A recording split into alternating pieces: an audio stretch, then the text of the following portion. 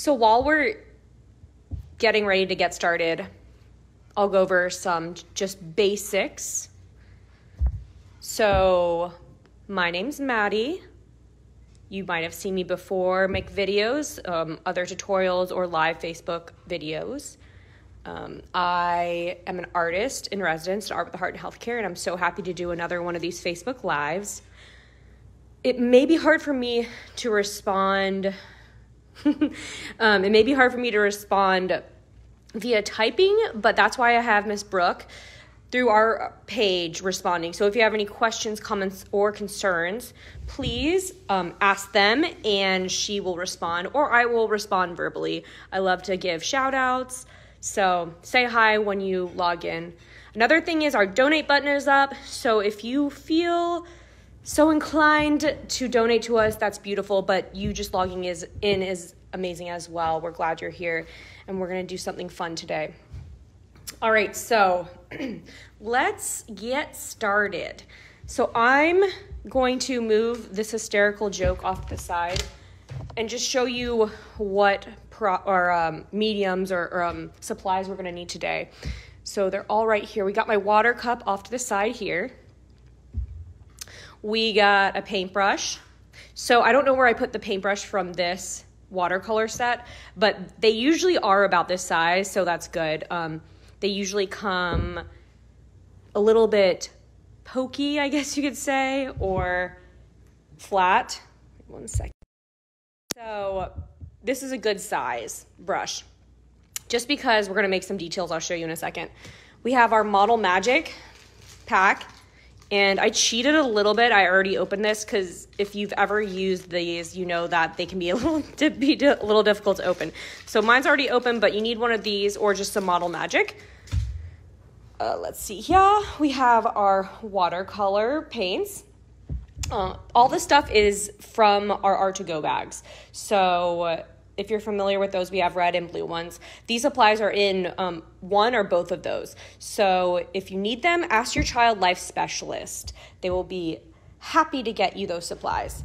All right, so put that off to the side. Obviously, a napkin is always good. And we have our drawing pad. I feel like I use this every time.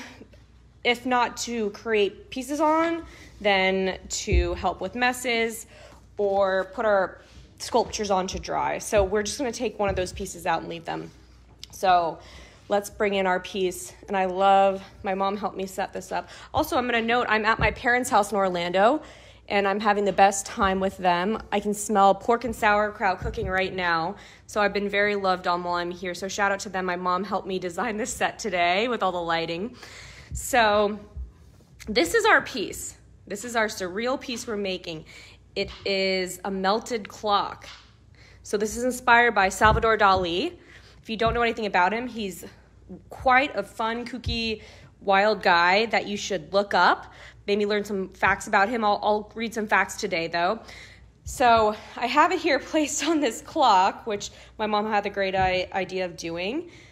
This can also be sitting on a table or something. It's really just a fun little eclectic piece to put somewhere where there's an edge, um, if you will. And I will show you at the end, or I'll show you how to do everything. But I just wanted to show you how it looks like this, but you can hang it off of a table or whatnot at the end once it's all done and dry. So I'm gonna put that off to the side, maybe over here. And I might I might have the clock just down here. See, it looks kind of funky if it's not hanging on something it's kind of got that weird angle and you can't really tell. But I'm just gonna put it here so we can kind of, at least it's in the shot so you can see what we're making. All right, so the first thing I wanted to go over with everyone is what is surrealism? Because it's kind of a um, abstract idea or movement of art. So I wanted to read to you what it is and then maybe break it down so it's easier for all of us to understand. So, surrealism is a modern movement in art and literature that tries to express the subconscious mind. All right, so that's already a lot, but let's just dive a little deeper. Surrealism originated in the late 1910s and early 20s as a literary movement. So it started out with it, with literature first or writing. And this movement experimented with a new mode of expression called automatic writing. So, if you've ever done this before in journaling, kind of like a stream of consciousness, you just write whatever comes out of your brain right away. You just keep writing, writing, writing. Um, so, this, they did this um, to release kind of the imagination in their subconscious. So, wow, that's a lot of big words. It's um, quite a big concept to understand, but we're going to break it. I'm going to try to break it down so it's easier to understand. So, what does that mean? Think of it like creating a piece of art using images that may be tucked back in your mind. Images that may reference actual people, places, or things, but are obscured or made to look silly in some way. So that could be a melted clock, you know, we've all seen a clock before, but rarely do we see them melted, if ever. Um, a zebra with legs as tall as a skyscraper, a green banana. It's like you're making a piece of art that's from out of your dreams. So think about that when you're dreaming, you think of things that you see in real life, but they look kind of weird. So that's kind of the idea of surrealism. So, going from there, let's get started. I'm gonna grab my piece of paper and I'm gonna grab my Model Magic. And like I said, you may need help opening this, so get someone to help you if you need it. And you're gonna open this. And we're gonna get out our fun foamy clay. So this project I feel like is easier than it may look and I will break everything down for you. Honestly, you don't really need the paper right now. I'm gonna put it right here because I'm just gonna mess around with my model magic and kind of get it warmed up in my hands, get a feel for it. If you've never played with model magic, it's a lot of fun. Great thing about model magic is you don't need to bake it in the oven. Uh, you don't need to even leave it out in the sun. It will dry in the air. So, for example, my piece, I made it and then I left it out overnight. And by the next day, it was pretty much dry. The inside might have been a little wet, but I just picked it up and, and dried it another angle and it was dry. So it dries fairly quick. And today we are gonna paint on our quote unquote wet clay. It's not really wet, it's just malleable still, but we're gonna paint on it while it's still malleable. Sometimes you, it's nice to wait until it's dry, but we can do it while it's, it's still moldable today.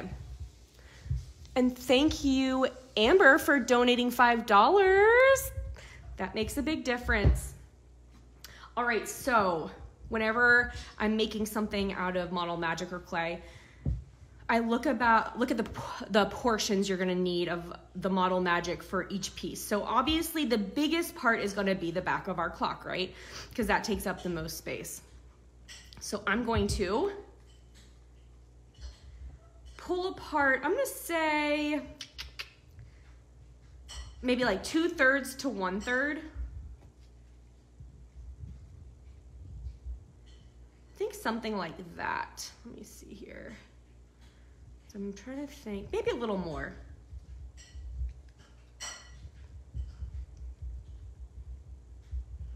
All right, so it's kind of hard to explain this portion. You're gonna have two pieces. One, they're not exactly um, equal size. One has a little more, and that's gonna be our, our the back of our clock face. So I'm gonna put the smaller piece off to the side here, and I'm gonna work with our larger piece. It's not too much bigger, but so I'm going to use my um, surface here and roll it around if you've ever played with clay or model magic, I feel like everyone does this, or Play-Doh, you know, to make a ball. You can do it with your hands as well.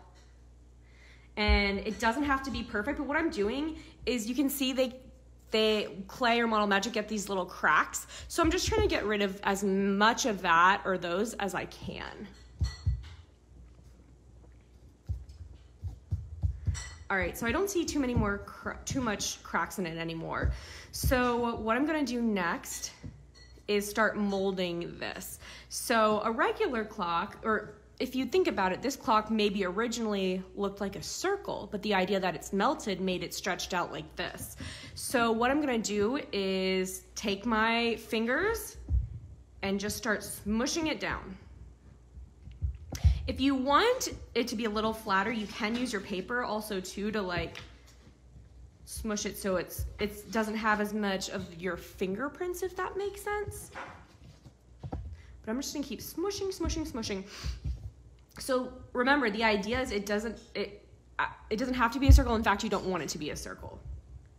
And it doesn't have to look just like this. But if you ever think about something dripping, it goes from a larger surface to almost a more a thinner stretched out surface if that makes sense so i'm going to kind of go with that let me see it kind of looks like an ear right now so it's kind of look like almost a stretched out ear if as silly as that sounds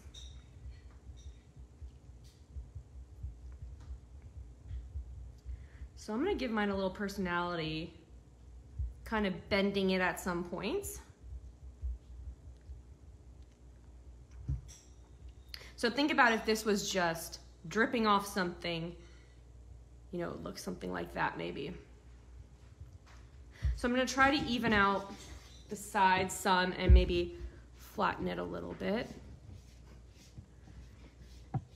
How is everybody's Monday today? In Orlando, it's been a little rainy, but I got a good walk in with my dad, so that was nice. So I'm gonna flip this around, and it kind of reminds me of pizza dough or something. And I'm using a paper bottom right now, which makes it stick a little bit. You might have more um, luck if you use a hard surface. Like I said, even though it kind of looks funky, but that's totally okay. I'm just gonna remold it. And it's melting, so it's gonna look weird. All right, so we've got our very peculiar shaped clock, soon to be clock, or stretched out ear, whatever you want to, you want to call it. All right, so let's look back at our clock and see what else we need to make. So take note of everything else. We have the rim of our clock, this gold part that goes all the way around the outside. We have the hands of our clock here. And then we have this little knob on the top of our clock, which would be used to set the clock. So we have those three elements. So we're gonna, again, kind of look at how much you need for each. So you're probably gonna need the most amount of model magic for the rim of your clock. So I'm gonna go over here to my smaller piece and we're to kind of section this off.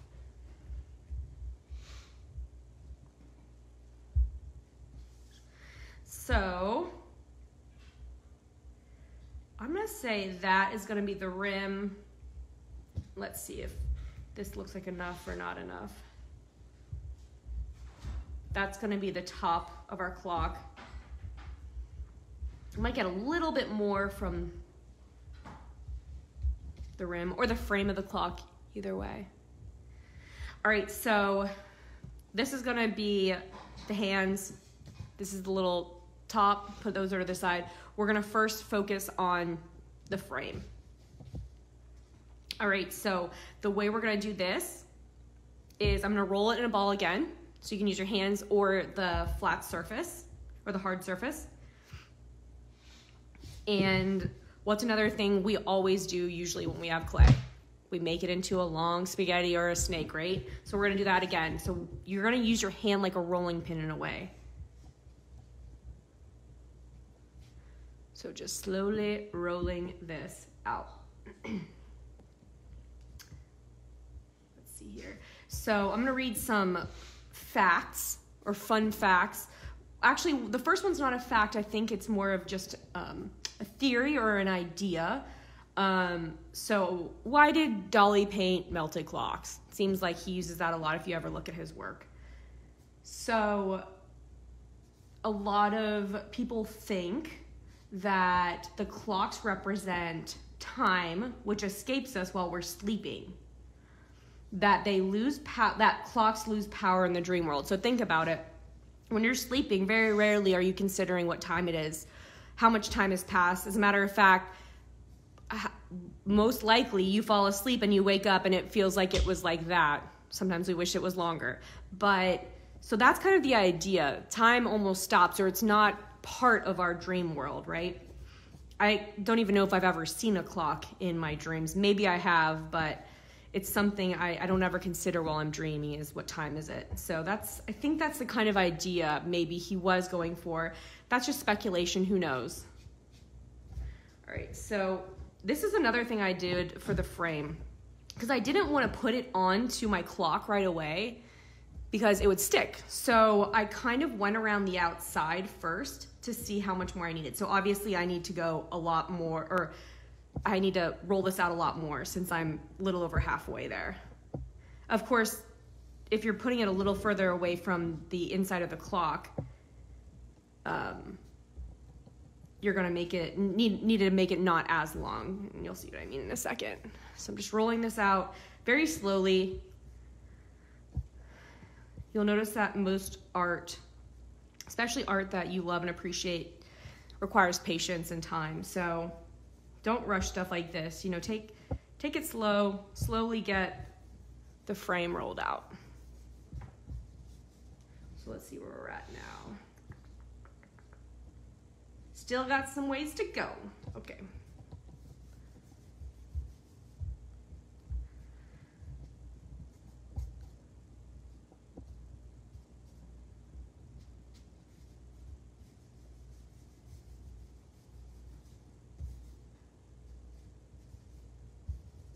We're getting there, guys. Looks like I got an extra long worm, or I guess like a night crawler. Is that what they're called, I think? Or something.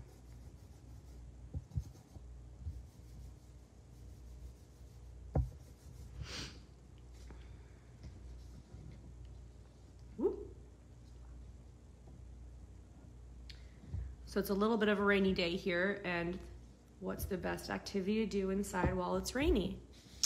Art. That's right. All right, so now that I've, I've got a significantly lo- longer um, worm for my frame. I'm gonna start at the top where this little knob is gonna go because then it's easier to disguise when I put that on top of it. So I'm gonna start at the top of my clock, right in the middle, about right there.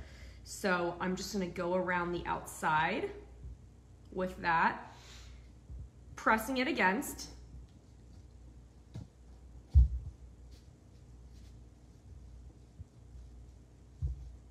Super easy, right?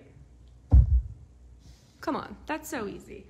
And then we're gonna, I have that little extra piece of my worm and I'm gonna take that off, just pinch it off right there. Because we can use that somewhere else. I think the first time I did this, I even had leftover model magic. So that's kind of nice. Sometimes some projects require more, but you only really need that one packet for this. All right, so now we got that going. Let's see, we can put in our little knob that's gonna go on the top here. So I have this put aside, remember? Again, gonna use our hands or the table to make a little ball. And so uh, you're gonna make it look a little more dynamic than just that ball or a little different. So it almost looks like, hmm, almost like, I'm trying to think, like a cone, like a soft cone shape almost on the top. So if I have it in my hands like this, I'm just gonna take my fingers and almost pinch the top of it around the top of that little knobby, like so.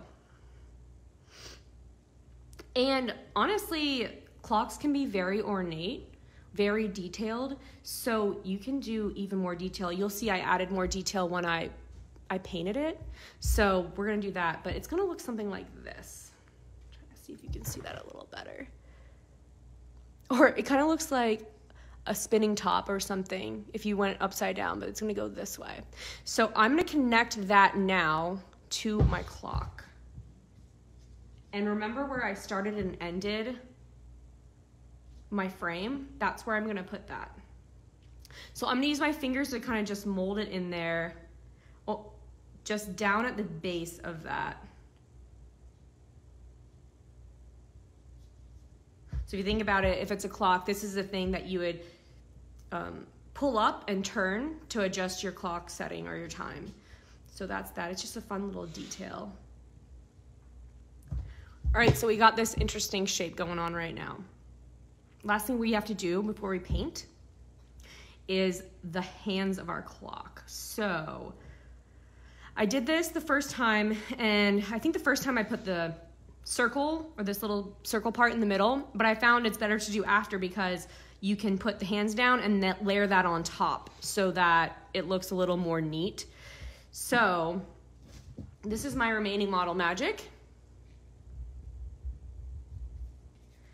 So we're gonna do our fun little worm thing again. I'm gonna put aside a little bit of MM, a little bit of model magic on the side just for that circle in the middle of our clock when we get there. Let me do a little less maybe. And, all right, so what it, all clocks or most clocks, they have two hands and one is shorter and one is longer. The shorter hand is our hour hand, shows us what hour it is, and the longer hand shows us what minute it is. So we're gonna make a shorter and a longer clock hand. So let's see here, I'm gonna do maybe that much, maybe that much. Like I said, you might have leftovers, I did. So put this off to the side.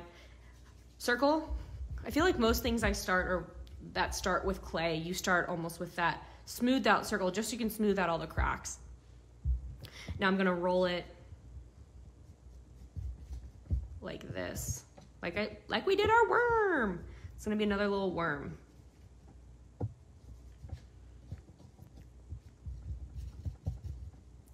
So it gets a little tricky. You got to kind of figure out where you're to put it.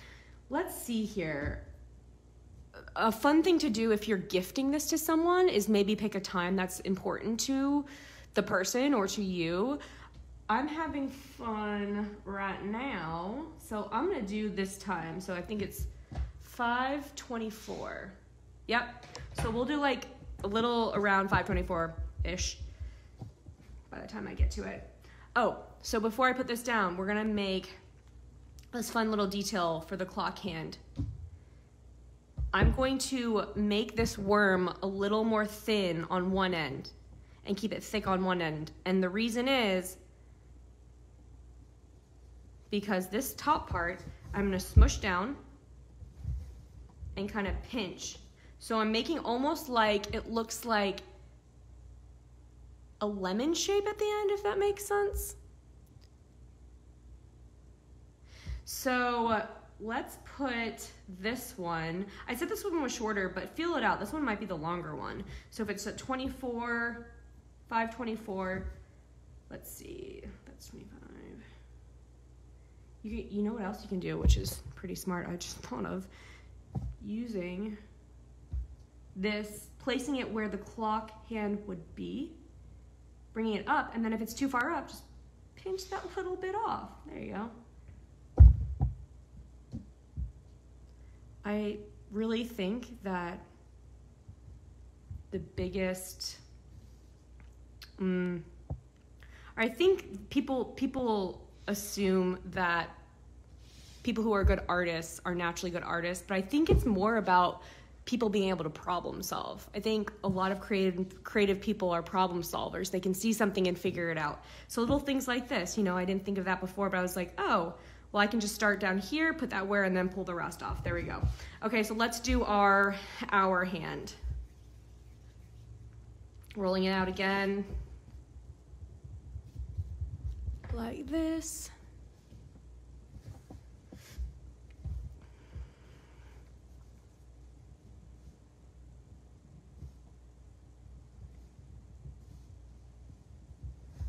So you can see I'm smushing it again. So it's a little thinner down here and then I'm smushing to make this like lemon lime sort of shape with that's pointed at the end.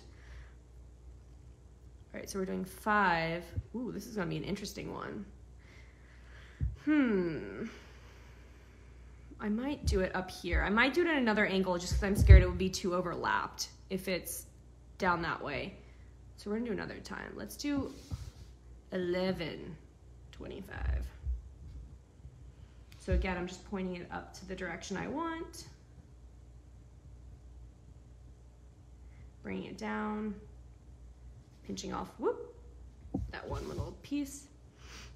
So you can kind of reshape and remodel. So I'm gonna work on, um, actually let's put, you know what, while we're doing it, let's finish off the hands. We're gonna put our last little dot. Remember our circle, so that's in the center right here. So I'm gonna smooth that out, make a little circle. It's a little much. This is almost exactly the amount I had left over last time too, so must have been using the same portions.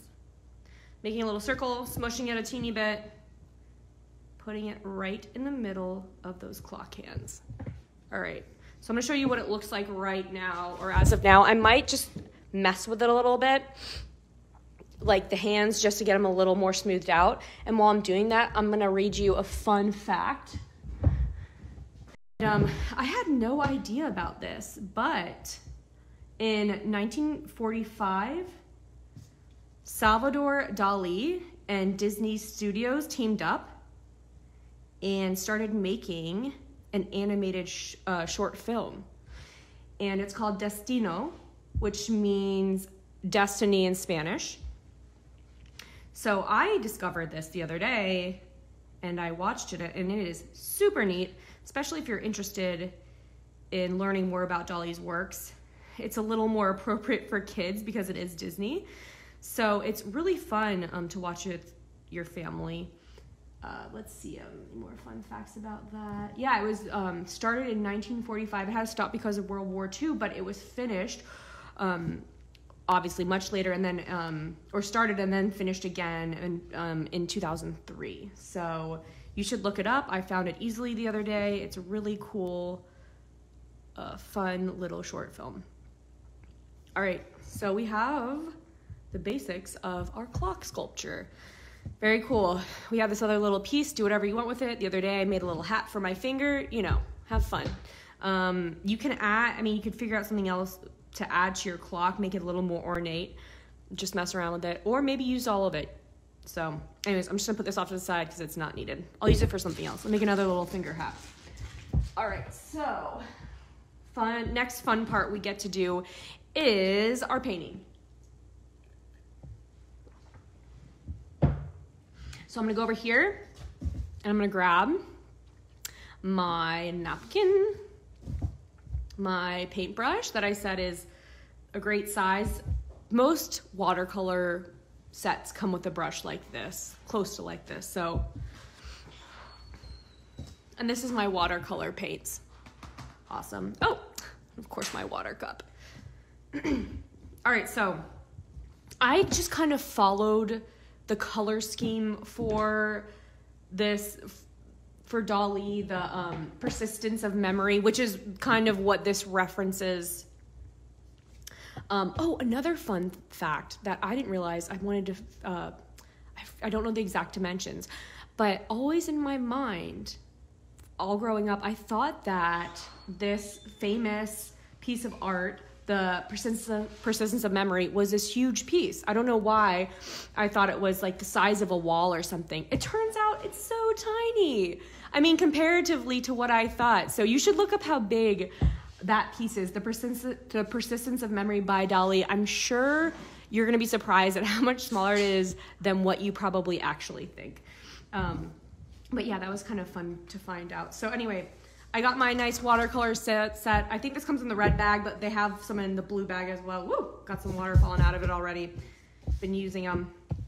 All right, so like I said, I'm gonna stick with the color scheme of this, or like I said, if you looked up Persistence of Memory by Dali, this is kind of this color scheme of the clocks. So the clock face is blue. If you wanna change any of the colors up, by all means, please do. This is your work, it's not mine. So I'm gonna take my paintbrush I have some water already in my um, paints, but I usually like to wet them. So if you haven't done it already, wet each one. I'm gonna just put a little more, woo, that blue is gloopy. It is sticky. So when I made this the first time, this is a, a tip you should stick with. If you are um, doing all of the painting right now or all at the same time, the clock face, whatever color you do it, you want to make a thin layer of paint. Very thin, mixed in with a lot of water because you want it to dry as quick as possible. So by the time we get to the numbers, the numbers won't be all fading into the background because it will happen if there's too much water. So I'm gonna show you what I mean. I like to use this back of our watercolor palette for like a mixing palette. So I'm gonna take a little bit of that blue, just smush it around on there. Maybe get some more water. So the idea is I'm kind of watering this down. So initially when I put this onto my clock face, it probably will be kind of watery, but you just keep spreading it out. So you can see it's pretty watery, but all I'm gonna do is keep spreading it out. So I'm just going into that background clock face color. And I'm just spreading that paint, spreading, spreading, spreading, spreading until it almost looks like it's dried. And I can go back in with some of that pure pigment or pure paint. Pigment's just another word for paint here or color. And I can layer some of that. But what you want to just keep doing, like I said, is pushing the paint around so that you're you're you're making it or you're making it um, easy to dry. You don't want it to take forever to dry once we get to that last detail where we put our numbers in. So I hope everyone's doing okay out there, following along all right.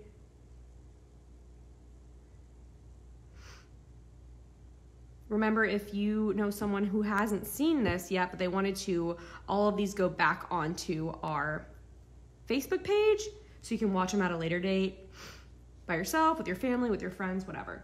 So I'm gonna keep going and adding.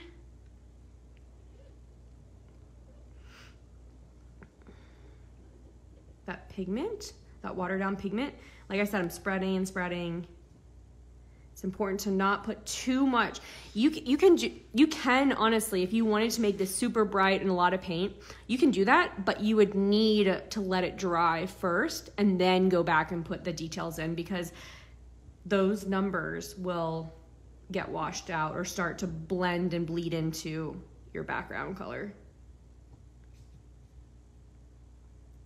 Dad, are you following along in there? No?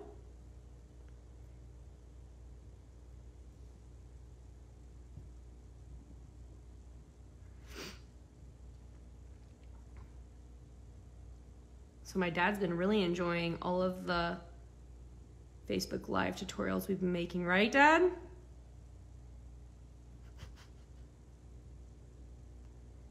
think he's distracted.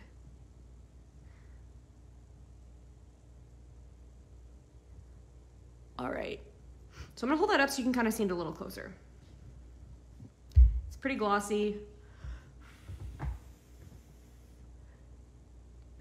so funny. It almost looks like a, feels like a pancake almost. kind of looks and feels like a pancake right now. So our next step is going to be coloring our beautiful clock frame. Um, so this is kind of a gold color and I'm gonna show you how I made that. Cleaning off my brush, looks like some blue Powerade right now. Cleaning off my brush. All right, for the gold, put some water down, orange, yellow. Ooh, this is super gloopy paint. So orange, yellow, and brown will probably do the trick. And then it's just uh, the portions of that. So it's a little more brown than I want right now. So I'm gonna clean my brush off a little, go back in and grab some orange and a lot of yellow. I got some green in my yellow still, but I think we can make it work.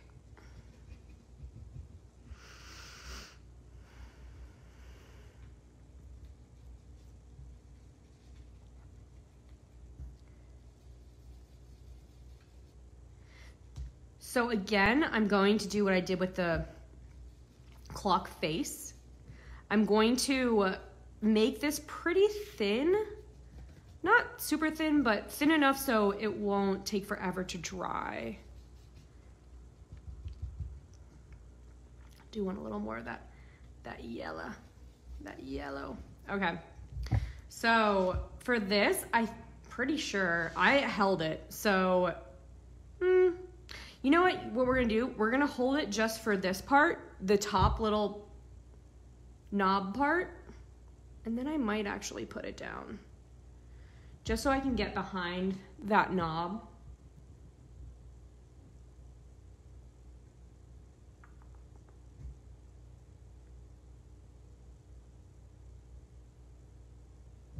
All right, so now I'm gonna put it down, and this is where our paper comes in handy, especially if you haven't been using your paper yet. You'll be able to move it around more. Also, the paper that we're using, I usually save old paper that I've made some marks on that I don't wanna throw away just because it's wasteful. So you can keep pieces of paper to have your doodle papers or like your messy papers. All right, so what I'm gonna do is paint this frame and you want to get as close as you can to the clock face and then take it as far down as you can on the sides. Whoop.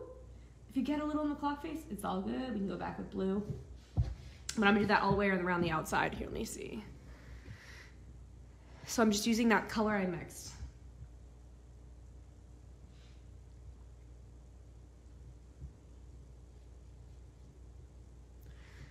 So while I'm doing this, I'll read the next fun fact about Dali.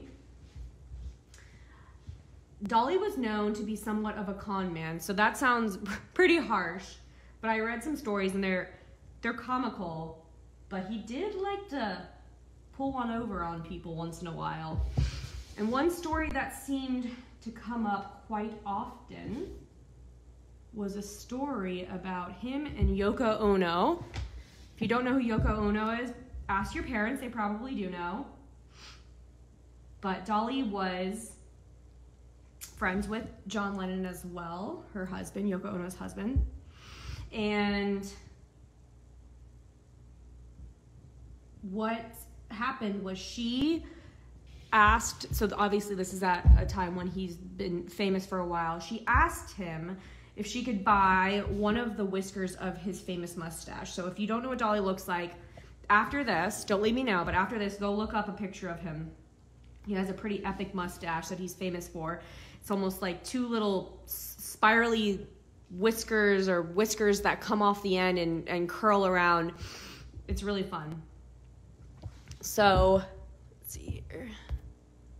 So, Yoko Ono asked Hit to buy one of his or whiskers from his mustache, his famous mustache. He agreed, and he said he'd do it for ten thousand dollars. And what he ended up sending her was a dried up piece of grass in a very beautifully presented box. And that is the story, and I think it's pretty hysterical. Um, but yeah, I think apparently he liked to. He was a he was a bit of a trickster. I thought that was super interesting. I had no idea about that until I researched a little more about him.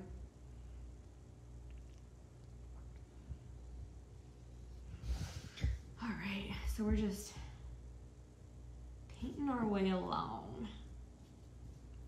Getting close to the end, and you'll see once I get to the end, I actually usually like to pick this up or my piece up and move it over just so it doesn't get so stuck from the paint. Sometimes the paint will start to act as a glue once it starts drying.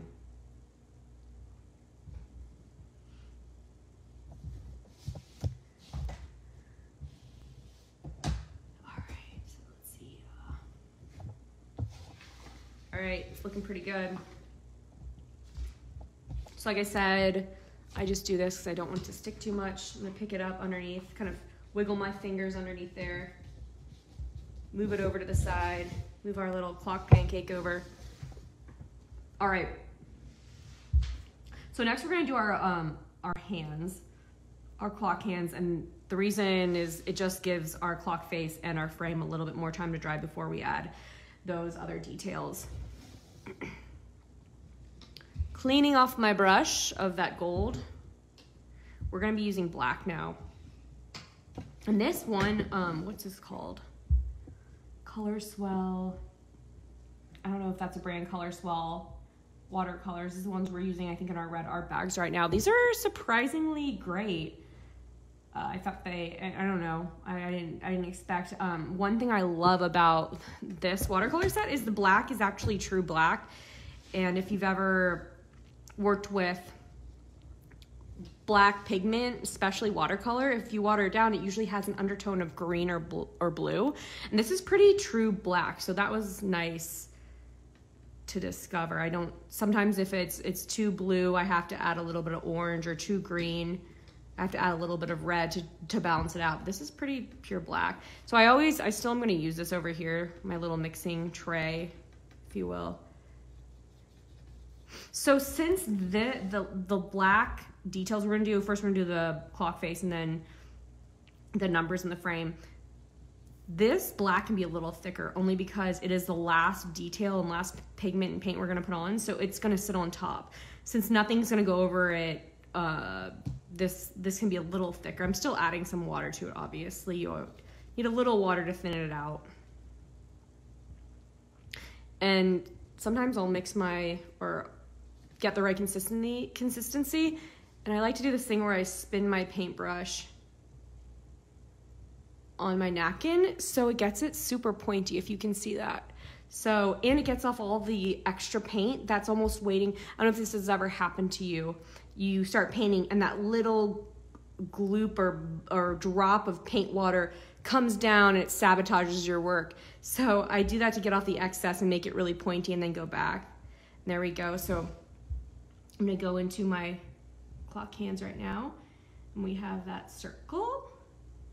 So I've noticed that using the watercolor on the Model Magic does take longer to dry, so keep note of that. I haven't tried it yet using um, a hair dryer. That might work, but so I'm just painting that in. Just the clock hands. So I'm not going way too far down the sides. I'll go a little bit, but I'm trying to avoid that black getting on the blue.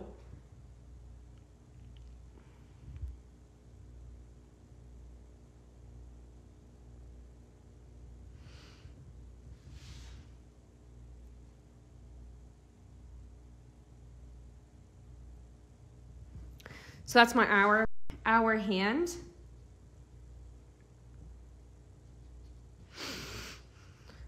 And let's do our minute hand. A minute hand to be a little pointier.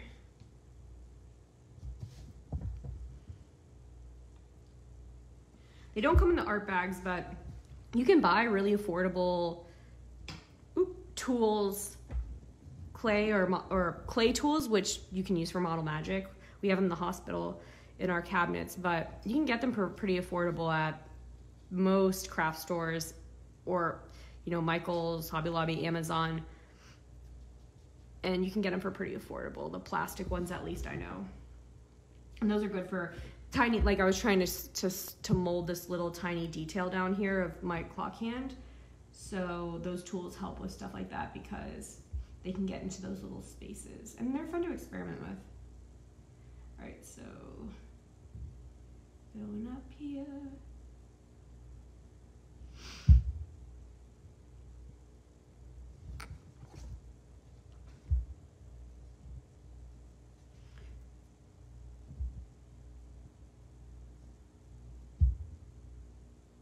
So I'm using watercolor. If I was using something other than watercolor or I had other stuff other than watercolor, you could use tempera paint.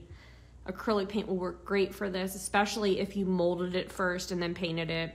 I guess any paint would be good for that. It it would be probably beneficial to have your your clock. You can definitely mold it first to the table, and after it dries, take it and paint it. That might work pretty well, but just for the sake of time and showing you everything, I'm doing it while it's still wet, and it worked out really good. I was su- surprised in a way. So, all right, so I'm still gonna give the clock face a little more time to dry. It's pretty dry, um, but I'm gonna do the details in or on the frame right now. So I don't think it's necessarily like this in his paintings per se, but they give it a fun, almost painted look. How I did these quick brush strokes of black, and then we can do the details in our little knob at the top. So this is where our paper comes in handy too, because we can turn it around. So I'm just gonna do little brush strokes like so. So they're gonna be long and short. Don't overthink it. It's just a nice little, like I said, it almost looks makes it look a little more artful if that makes sense. Maybe it's like the shadows or you know, a way to make it almost look shiny. I'm just doing those little brush strokes all the way around. So this is like I said, where your paper comes in handy because you can turn it around. And I'm going to, uh, let's see if you can see this. So I'm going to make little circles around. So remember I said this kind of looks like, almost like a spinning top, but upside down. I'm gonna make little circles around the top, like a couple little circles. Woo! Like I said, mine is not perfect. Here, let me show you. I don't even get all the way to the bottom. That's okay though. It's gonna be draped over something. And then, so if you think about it, the little knob on the top of a clock, it almost has those vertical lines. That texture I can just feel like the metal, the little uh, lines of the metal. So I'm gonna do little vertical lines like this along as much as I can to the back. You could lift it up, but I don't think it's really necessary because no one's gonna see under there anyway. All right, so the last piece or part of this, we're gonna make our numbers. I noticed that in a lot of his clocks, he has the dashes in between. I didn't put those on. You can if you want to get even more detail. It's totally up to you. I'm just gonna put the numbers in for today. So I kind of looked at his numbers for reference on what kind of style of numbers I'd want to do, or I guess it'd be like a kind of font, like a number font. So you can make them however you want, but I'm gonna try to mimic this again.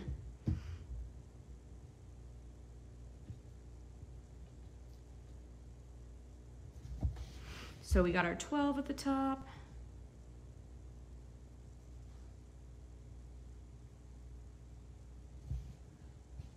We got our one o'clock.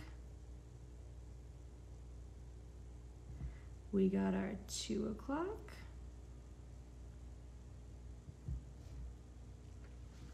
So this is interesting. My clock hand is up here at 11, pretty much on top of where the 11 would be. So you can do one of two things. You can put it below or above, or you can kind of make it look like it's covering it up a little bit. So I'm gonna do that and see how it works out, right? Why not? So we got that one, and then the other one ah, is underneath it. So I tried it. It's a little funky, but it's a melting clock, so whatever. All right. So you can keep going down the line. I actually kind well, uh, the first time I did that, I lined it up as I went down, so they were somewhat in the right spot, if that makes sense. So instead of going one, two, three, four, five, six, I went, you know, 12, 1, 11, 2. So you'll see what I mean. So after 11, we got our 10 underneath. So you can kind of line it up across. 10 o'clock.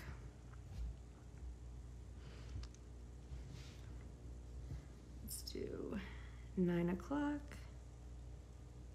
Ooh.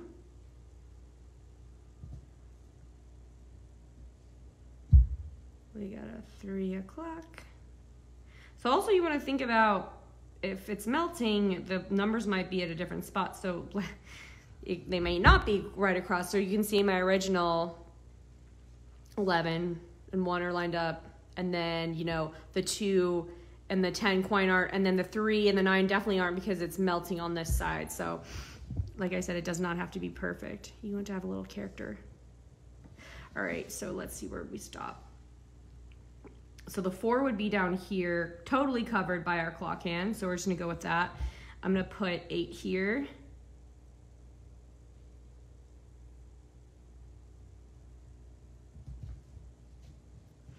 We got our seven.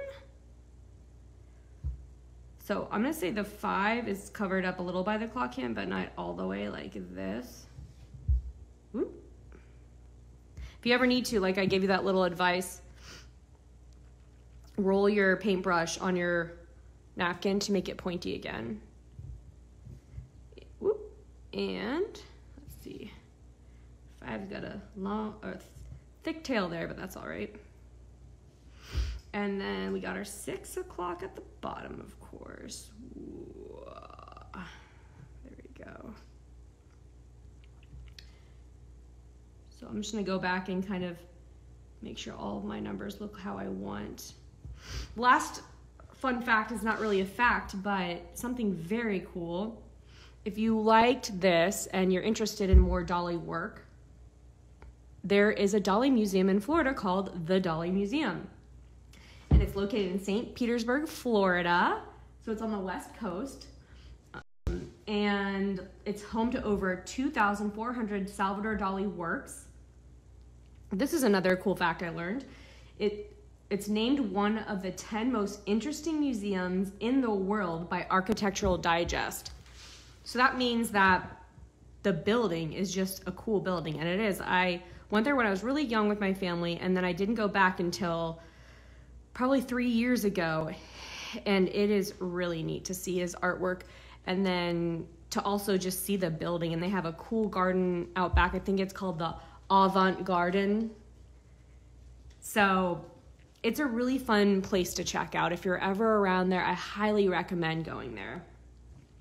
All right, guys, so I think we have everything we need. Um, obviously, the last part you're wondering is how did she get it to bend like this?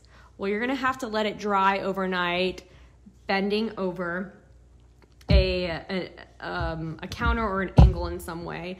Like I showed you earlier, my mom, after it had dried, because I think this is kind of a nice clock, um, put it on here so it's just draped over it. So find a place that has um, a countertop and and uh, mold that over it so uh, I'm going to do that in a second. Before I do that, I just want to thank all of our healthcare workers. We love you. We're thinking about you. You mean so much to us. We miss you, especially the ones that we saw daily. If any of you ever want to make art for them, please send it to us, tag us. We will forward it to them. They love it. Uh, we would just love to do that for them. So, for the last part, I'm going to show you how to drape it over. I'm going to use my paper here. I'm going to have to take my phone down for a second to show you this last fun part. If I can get it out of my tripod. Okay. So you're going to take your clock. Oh, here. Let's see. Because I can't rotate my phone while recording. Okay, back to where I would be. All right, so my clock is still flat. I'm gonna bring this. You can find any place, preferably somewhere out of the way so people won't bump into it or mess with it. You're gonna take your clock, your pancake clock, and you're just going to lightly set it down so that part of it drapes over the side like so. So it looks like it's just dripping off the side. Don't put it too far forward or it will fall onto the ground, which you don't want your artwork to do. So make sure. And then also you have a piece of paper. The first time I did this, I did not have a piece of paper. So it did stick to my parents' mantle. So you want a piece of paper so you can easily pick it up. And what I did the next day, I'm gonna show you another angle. So it looks like that. I'm just kind of melting off the side. So the next day, pick it up off your paper. It'll probably be mostly dry. It might still be a little wet on the bottom. And then you can take it and turn it like this to dry even further, which I did the last day or so. So that is it, guys. I really appreciate you tuning in. I appreciate, um, like I said, our healthcare workers right now and all the support you're giving us. Thank you again. We love you from Art with a Heart, and we will see you soon. Bye, guys.